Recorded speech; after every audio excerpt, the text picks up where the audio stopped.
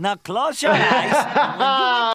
Homer, Bart, Marge, and all the other wacky characters that Springfield has to offer are being served up right now. We are back at it again, reacting to one of my all-time favorite shows, The Simpsons. Let's dive right in.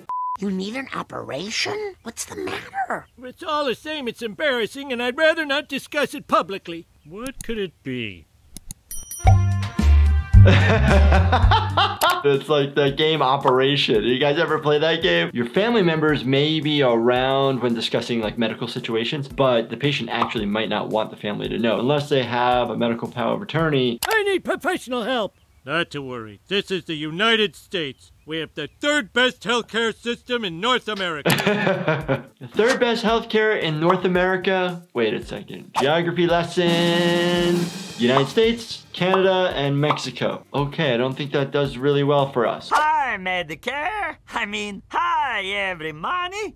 Hi, everybody. I speak with the doctor alone. Of course. Oh, wait, I'm the doctor. Did Homer just take a huge handful of cotton balls? Or there's a diet where sometimes people eat cotton balls. It's kind of a disorder because it is filling you up, but has no nutrients whatsoever. But actually can cause bowel obstruction, so please be careful. Do not do that. What's taking Grandpa so long in there?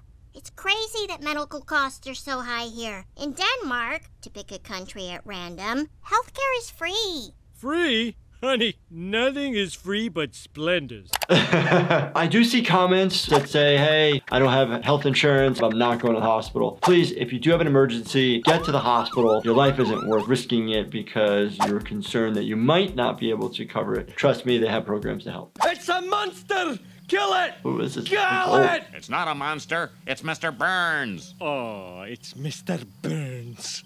Kill it! All I hear is that accent and all I can think about is William Wallace and Braveheart. Anybody see that movie? I know it's old, but I like it. It's good. Every Friday evening after work, Mr. Burns undergoes a series of medical treatments designed to cheat death for another week. First, Mr. Burns' chiropractors perform a slight spinal adjustment. Chiropractors don't do that intense of motions. I know a lot of people out there have opinions about chiropractors one way or the other, but they're very good with their hands. They are able to identify things that an image or a blood test can't necessarily do. Oh! Then a team of doctors administers eye drops. So the eye drops that they're showing are actually dilating your eyes, but you can also be getting drops for glaucoma, a lot of other ailments of the eyes. Painkillers. Painkillers aren't going to make you live longer. Painkillers are going to cover up pain that you have. You have painkillers in your system, you're not going to feel or care what's going on. And when the medicine wears off, it's actually going to be worse. So you have to think about that. Don't worry, you won't feel a thing till I jam this down your throat. Yeah, yeah, yeah, yeah, no. Sometimes singers can get polyps or nodes on their vocal cords and they need those cut off. It's a procedure, but you don't use that gnarly medieval device. The most rewarding part was when he gave me my money. You would not leave the office that way. Offices would require you to have a safe ride home, somebody to watch you and give you explicit instructions of what to do in these situations. Not just let somebody go into the woods. But what's with the glowing? Um, I'll field that question. A lifetime of working in a nuclear power plant has given me a healthy green glow.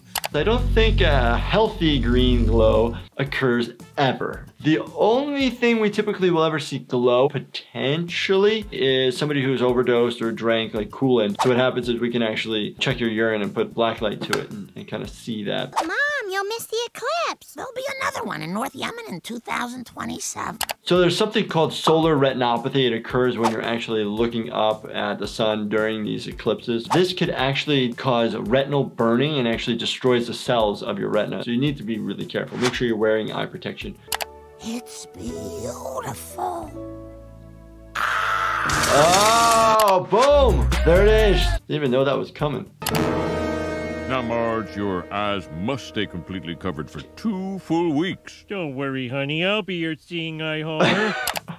I wouldn't trust Homer, no thank you. Somebody will come in where I actually bandage their eyes shut. Every time they open and close their eyes, it causes significant pain. Keeping the eyes closed, it allows the eye to heal instead of opening and close. Now, Simpsons, I must warn you, any stress could increase the blood pressure in Marge's eyeballs, leading to what we call Tex Avery syndrome. Tex Avery syndrome. We actually have tools in the emergency department to check the pressures of the eyes. The simplest thing we have is something called a Tono-Pen. If you're having unilateral vision loss or significant eye pain, you definitely need to see an eye doctor.